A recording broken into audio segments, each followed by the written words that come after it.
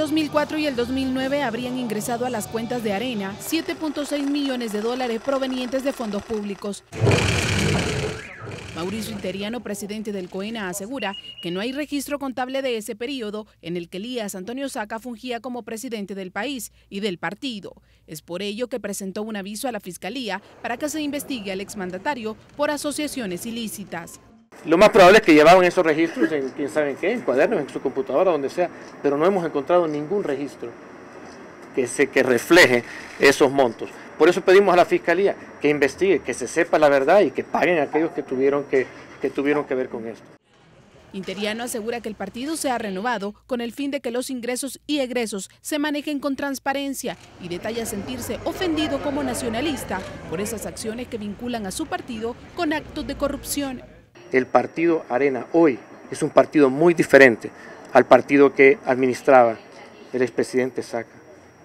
Ahora hemos tomado medidas para que estas, estas cosas no se vuelvan a dar. Separando la dirigencia del partido con los funcionarios, exigiendo elecciones internas, exigiendo controles.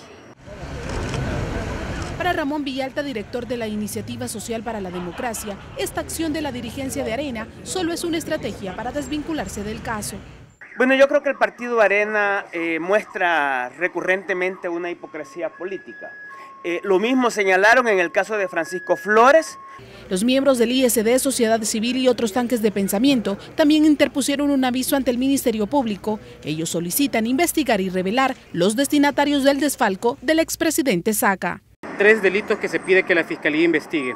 Lavado de dinero y activos, casos especiales de lavado de dinero y activos y encubrimiento de delito de lavado de dinero y activos de los artículos 4, 6 y 7 de la Ley de Lavado de Dinero y Activos. Detallan que también se tiene que investigar todas las instancias públicas que no hicieron su trabajo como fiscalizadores. Referente a las investigaciones, el fiscal general ha dicho en declaraciones anteriores que se podrían abrir de 10 a 15 expedientes, de acuerdo a la información ventilada en el juicio del expresidente Saca. Gabriela Sosa, Mega Noticias 19.